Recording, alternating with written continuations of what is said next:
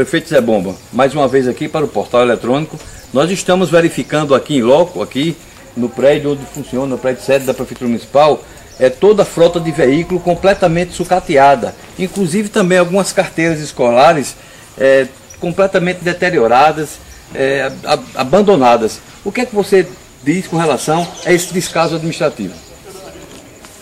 Aqui o que nós encontramos aqui, dia 1 foi totalmente destruído, todo o patrimônio da prefeitura de, de carros, né, de máquinas. As, aqui tem duas pá mecânicas, motor batido, todas duas. É, duas patrol, todas duas motor batido.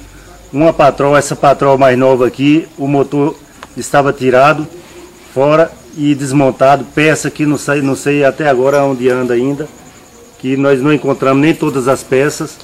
E a situação de, da prefeitura de Vanderlei é desastrosa. A gente não sabe ainda porque como a gente vai recuperar o patrimônio da prefeitura, porque o ex-gestor ele deixou também um débito muito grande com funcionário público, com, com, com concursado. E nós hoje temos uma obrigação de não só de pagar a dívida anterior com o funcionalismo público, porque é um débito da prefeitura, como também nós precisamos de levantar o, o patrimônio da prefeitura, que é os maquinários, os carros que estão todos destruídos. Então, até agora eu não estou sabendo que recursos vamos ter para melhorar esses equipamentos, porque os recursos que a prefeitura tem através do Fundo de Participação, eu sei que não é suficiente para a gente recuperar todo o patrimônio da prefeitura.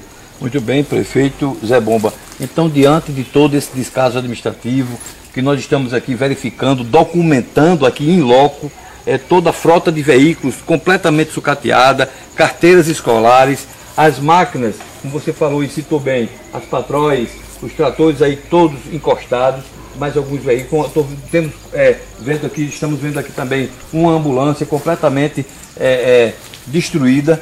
Enfim, são, é muito trabalho para fazer. Você atribui tudo isso a uma, uma, uma ingerência administrativa?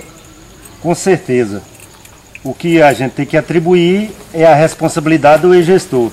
Então vai ser necessário, Zé Bomba, uma, uma verdadeira reorganização da máquina administrativa. Com certeza.